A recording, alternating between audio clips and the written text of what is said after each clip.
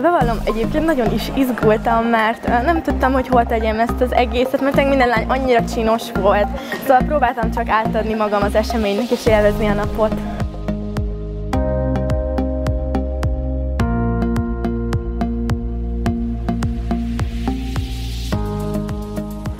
Én fantasztikus kezdeményezésnek tartom ezt a Biotekusa Lifestyle Day-t, mert itt tényleg nem a külső az első, és sajnos manapság nagyon sokszor a másikat külső alapján megítéljük, de nem hallgatjuk meg, hogy milyen története van, mi van benne, és ő milyen ember valójában.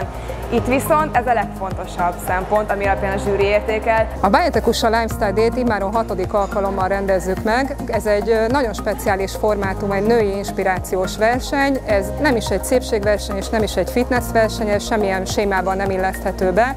Itt alapvetően egyébként olyan hölgyek jelentkezését várjuk, akik nem csak csinosak, de valamilyen motiváló történetük van, tudatosan élnek, tudatosan táplálkoznak, sportolnak, mozognak. Hát azért fontos, hogy legyenek ilyen versenyek, mert ugyan én az egész pályámat abban éltem, hogy csak a szépségre koncentráltam, de közben azért nyilván találkoztam is ezekkel az emberekkel, és pontosan tudja az ő küzdelmeiket is, és erről soha senki nem beszél.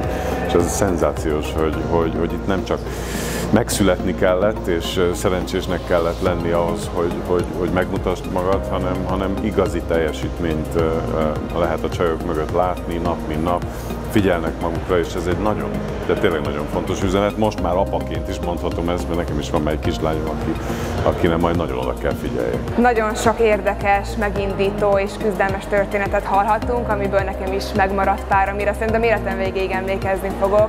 Például a lány, aki autóbalesetet szenvedett, és csavarok, lemezek vannak a testében, és úgy is edz, az szerintem nagyon példaértékű. Nagyon sokszor annyira nehéz volt összeegyeztetni egy gyönyörű külsőt egy ilyen erős és mély történettel, úgyhogy, úgyhogy ez nem volt egy egyszerű nap, és azt mondom, hogy érzelmileg is nagyon-nagyon élesen érintett. Olyan hullámvasutak voltak végig, és ezt láttam a zsűri minden tagján, hogy, hogy sokszor mosolyogtunk, sokszor pedig így passzírozottunk bele gyakorlatilag a székbe, és egyre inkább nyomott bele minket, ahogyan hallgattuk, hogy ki milyen története és mennyire szerteágazó háttértörténettel érkezett ide.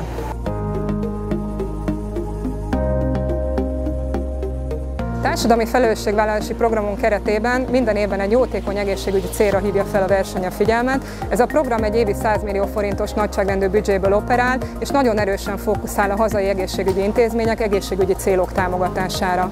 Nagyon fontos megemlíteni, hogy nem csak adományozunk, hanem társadalmi párbeszédet is kezdeményezünk, edukálunk és szemléletet formálunk. Az idei versenyen az evészavar témaköre került a fókuszba, hogyan is jött ez az ötlet és miért. A korábbi évek során számos versenyzőnél és fogyasztónál láttuk, hogy ezzel a problémával küzdött, és mindegyiküknek a sport, a tudatos életmód segített a gyógyulás útjára lépni. Az evészavarok súlyos mentális betegségek, melyek tulajdonképpen kortól, nemtől, társadalmi hovatartozástól függetlenül bárkit érinthetnek. Alapvetően három fő formáját különböztetjük meg, az anorexiát, a bulimiát, illetve a falászsavart, ami a legújabb típusú evészavarnak minősül. Hogyha a számadatokat nézzük, akkor azt lehet mondani, hogy Magyarországon körülbelül a fiatal nőknek 3%-a érintett az evészavarok valamilyen formájában, vagy súlyossági formájában. Azért ez egy eléggé komoly szám, hogyha pszichiátriai zavarról beszélünk. Én megmondom őszintén, hogy egész évben azért igyekszem így formában tartani magam, mind az étkezés, mind az edzés terén, de az utolsó három hét volt, amit így meghúztam, ott azért figyeltem a kajára, csak otthon főztem, dobozoltam, cipáltam magamnak, és az edzésteremet is úgy írtam meg, hogy azért keményebb legyen, mint előtte, igen. Megmondom őszintén, mind testileg, mind lelkileg, és mint a konyhában fel kell készülni egy ilyen versenyre, viszont én nekem a jelenleg most zajlik a versenydiétám, így annyira nem okozott nagy nehézséget, hiszen ez egy folyamatos dolog, ami nekem a mindennapjaim része, úgyhogy igazából ez már egy rutin.